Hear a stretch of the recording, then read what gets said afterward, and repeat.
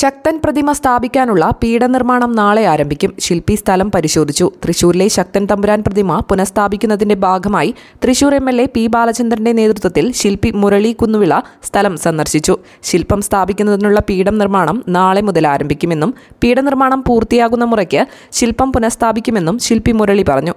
K S R T C executive director P M Ashraf Muhammad deputy mayor M L A Rosy വികസനകാര്യ standing committee chairman Varghese Kannamkulathi തുടങ്ങിയവരും ward കൗൺസിലർമാർ corporation ഉദ്യോഗസ്ഥർ K S R T C ഉദ്യോഗസ്ഥർ എന്നിവരും ഒപ്പമുണ്ടായിരുന്നു.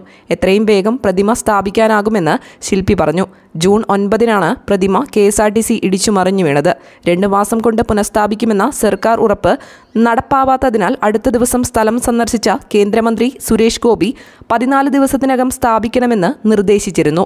അല്ലാത്തപക്ഷം താൻ വെങ്കല പ്രതിമ പണിതു നൽകുമെന്നും പ്രഖ്യാപിച്ചിരുന്നു.